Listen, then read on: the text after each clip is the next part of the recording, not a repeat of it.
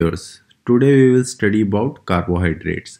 In carbohydrates we will study its definition, D and L sugar, aldose and ketose. So we know that carbohydrates are widely abundant in nature and you can find it in food product, fruits, wood of plants and in our DNA also. So simplest carbohydrates is glucose and when you see the formula of glucose it is C6H12O6. So if you can arrange this formula you can arrange it like C6 in bracket you can write it H2O6 here you can see it is hydrated form of carbon. So that's why name come carbohydrates. So here you can see six carbon atom are attached with six water molecules. Means carbon are hydrated so that's why carbohydrate name comes but when later structure elucidation happened it was found that it is not hydrated form of carbon but several polyhydroxyl groups are uh, attached with carbon. So it is present in the form of polyhydroxyaldehydes and polyhydroxy ketone. But carbohydrate name persisted. So we know that our tree and plant convert carbon dioxide and water into glucose in their leaves by the process of photosynthesis. So this is photosynthesis process where carbon dioxide react with water in presence of sunlight and give you glucose and glucose is the source of energy. So when you classify carbohydrate you classify it into monosaccharide and uh, disaccharide and polysaccharide so monosaccharides are the simple form of sugar while disaccharide and polysaccharides are complex sugars. So further we classified monosaccharide into aldoses and ketoses. So aldo words represent aldehyde and keto words represent ketone. So sugar component containing aldehyde groups are called aldoses. So here you can see glucose in glucose there is aldehyde group present so you can call it aldoses and fructose this fructose contain carbonyl group okay?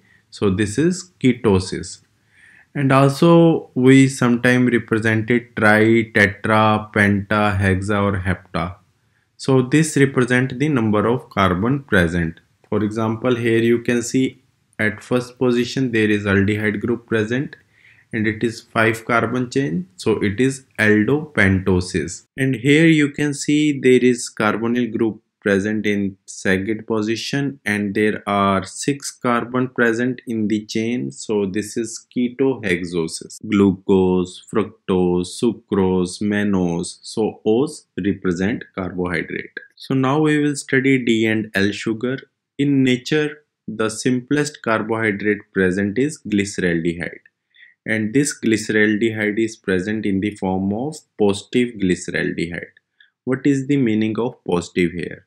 So this glyceraldehyde rotate plane polarized right in the right direction means clockwise. So that's why positive sign come and the compound which rotate plane polarized light in right direction they are called dextrorotatory compound.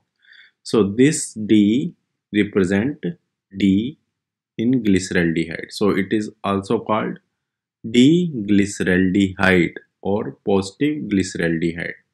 So if your glyceraldehyde rotate the plane polarized light in the left direction or anti-clockwise, then it is called negative glyceraldehyde. And when it rotate in left direction, so the name come levorotatory levorotatory glyceraldehyde. So here we can call it L-glyceraldehyde. But in nature only positive glyceraldehydes are present.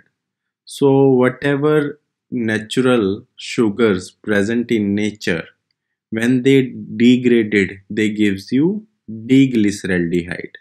So for example this is the glucose. This is naturally occurring glucose. When you remove carbon from this glucose one by one, you will get glyceraldehyde and this glyceraldehyde will be D-glyceraldehyde and it will rotate plane polarized light into right direction or clockwise direction. So it is easy to represent this glucose as a D-glucose. So now the problem arises with synthetic sugar. When you were removing carbon from synthetic sugar, you were getting mixture of D and L glyceraldehyde. Now it was getting difficult to represent D sugar or L sugar to this kind of sugar which were giving mixture of D and L glyceraldehyde. So Fischer-Rosanoff convention was saying that you have to give D designation to those sugar which were giving only positive glyceraldehyde. But now with synthetic sugar you were getting a mixture of D and L glyceraldehyde. So what to do here in this kind of compound? So for example, you can see in this molecule, your this hydroxyl group which is far from aldehyde group is present on right direction which was matching with the D-glyceraldehyde structure. You can see here in D-glyceraldehyde or positive glyceraldehyde your hydroxyl was present on right direction. So here also in this ribose your hydroxyl group which is far from aldehyde group is present on right direction. Then here you have to give name D-ribose. So in D-glucose your this hydroxyl group so this hydroxyl group is present on carbon which is chiral in nature and far from this aldehyde group. Okay. So this hydroxyl group is present on right direction which was matching with D-glyceraldehyde. So you have to give D-glucose and similarly its name is D-fructose. Okay. So here D means we are just giving the name. It is no meaning that uh, it gives you direction of rotation of plane polarized light. For example, D-erythrose. We have given D name because hydroxyl is group present is on right direction. But this compound can rotate plane polarized light anti-clockwise. That's why you are getting negative sign here. Similarly, D-threose your hydroxyl group which is present on this chiral carbon which is far from this aldehyde group. The hydroxyl group on this carbon carbon is present on right direction which is matching with D-glyceraldehyde.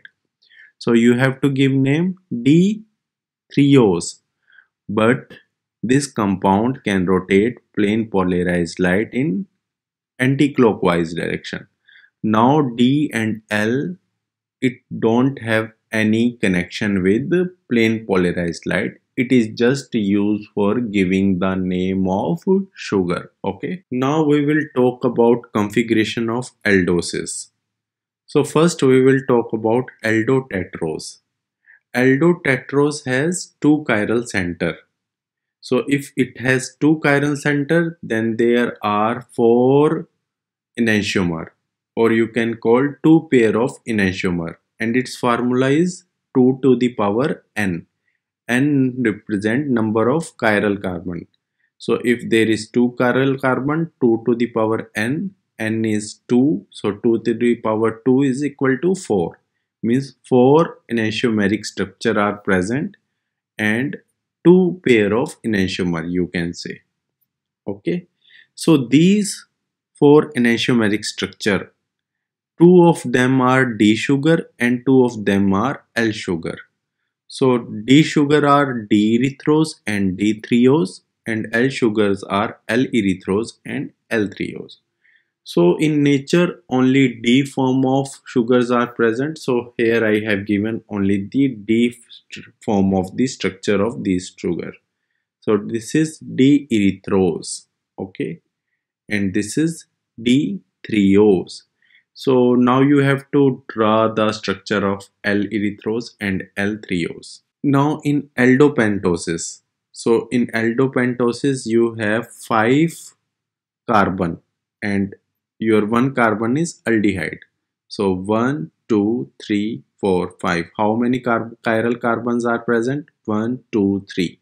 So 2 to the power 3 how many enantiomeric structures are present 8 and how many enantiomeric pairs are present? 4 so these are four enantiomer structure d-ribose d-arabinose d-xylose and d-lyxose and this another enantiomers are L-ribose L-arabinose L-xylose and L-lyxose so I have given only the D form of the sugar okay so now with aldohexoses how many chiral carbons are present? 1 2 3 4 and 2 to the power 4 is equal to 16 so 16 structures are possible with aldohexoses so here I have given only D form of the structure which is D-allose, D-altrose, D-glucose, D-mannose, D-gulose, D-idose, D-galactose and D-talose.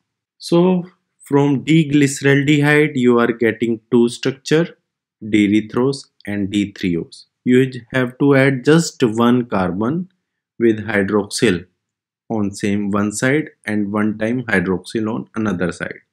Then you have to again add one carbon with hydroxyl group one hydroxyl on same side and this hydroxyl on another side and same you have to repeat it here so you will get all your structure when you add one carbon with hydroxyl group and hydroxyl group on same side hydroxyl group on other side. Now with ketoses same thing happened. This is dihydroxyacetone. You have added one chiral carbon here.